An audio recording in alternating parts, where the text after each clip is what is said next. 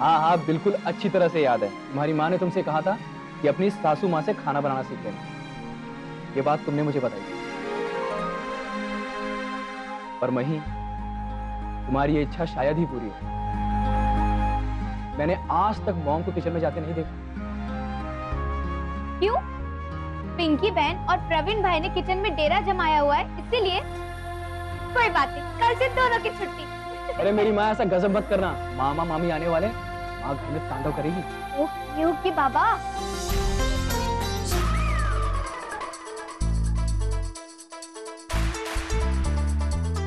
सागर ji. Sagar ji, mummy ji, अगर महादेव जी की तरह घर में तांडव करेगी तो कैसे लगेगी? ऐसे टन टन टन टन टन टन टन टन सॉरी सॉरी सासू माँ के बारे में ऐसे नहीं बोलना चाहिए। पूछो क्यों? क्यों? क्योंकि वो सासू माँ है सासू माँ पर एक्चुअली बोल भी सकते हैं। पूछो क्यों? क्यों मही क्योंकि सासू माँ में माँ शब्द भी आता है ना तो माँ के साथ तो थोड़ी धमाल मस्ती चलती है। वही तुम भी ना कई बार तो मुझे लगता है कि तुम आधी नहीं पूरी ही पागल हो। चलो मेरा काम हो गया मैं निकलता अरे पर मेरा लाइसेंस लाइसेंस दिवाली के बाद।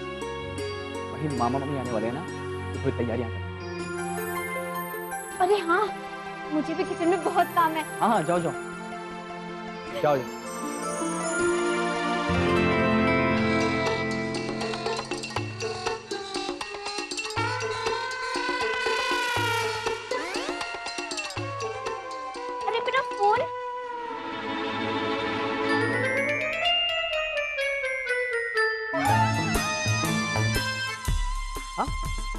सागर जी आप लैपटॉप के साथ साथ मेरे कपड़े भी लेकर जा रहे हो। अरे क्या बोल रही हूँ?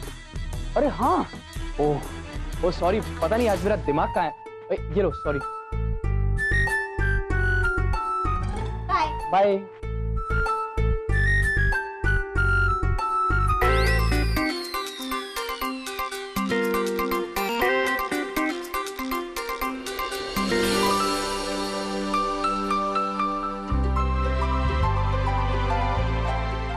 yes madam good morning good morning mister Shukla कल लंदन से भावेश आ रहा है अपने पूरे परिवार के साथ। यहाँ पे दिवाली मनाने आ रहा है। निक्की और उसकी सिस्टर रिया भी आ रही है। तो इस बार तो मुझे दिवाली उन्हीं के साथ मनानी पड़ेगी। तो इस बार कार्यकर्ताओं को प्लीज़ आप संभाल लीजिए।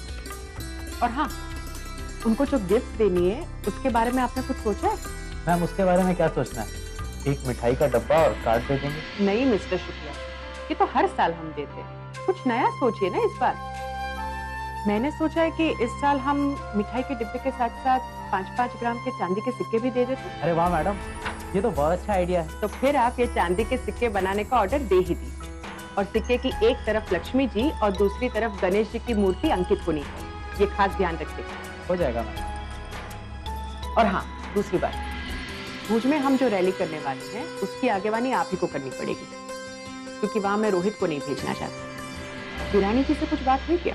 नहीं मैडम। और आपकी? नहीं। सोनिया को फ़ोन आया था। पर पार्टी के बारे में कोई बात नहीं। सोनिया ने बताया।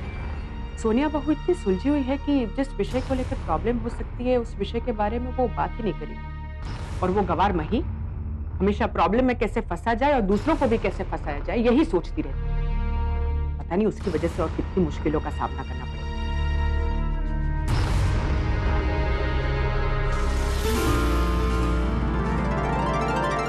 मठिया मीठी पूरी और नानखटाई का सामान तो मैं पहले ही ले आया था और इसमें जो सामान है वो घुघरा बनाने के लिए। पर घुघरा तो बन चुका है ना? हाँ पर भावेश भाई का फ़ोन आया था मैडम को। उन्होंने कहा कि प्रवीण को कह देना कि घुघरा थोड़ा ज़्यादा बनाए। उनको और बच्चों को बहुत पसंद है ना? तो मैं सामान ले आया। अच्छा पिंकी मालूम है? मेरे हाथ का घुघरा इतना टेस्टी क्यों बनता है? क्यों? क्योंकि मैडम ने मुझे सिखाया। क्या? मैडम ने?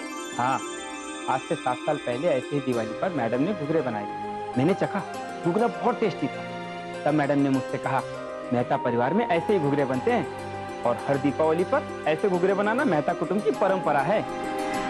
फिर मैंने मैडम से घुघरा बनाना सीख लिया।